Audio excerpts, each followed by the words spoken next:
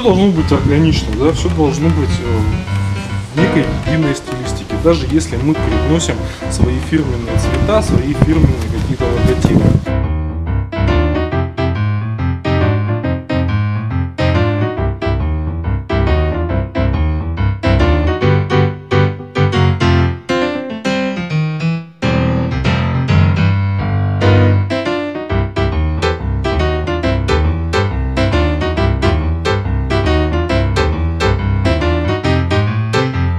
Я думаю, э, новокузнечане по достоинству сумеют оценить э, этот арт-объект, тем более, что демонстрация его 26 числа вечером а, будет, скажем так, на широкую ногу.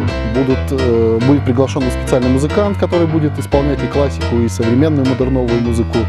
А, будут также присутствовать ребята из «Синей птицы», с, собственно говоря, яблоками в карамели, там, в сахарной ватой. Это будет целый настоящий маленький праздник для новокузнечан. После этого, я надеюсь, они уж оценят его по достоинству.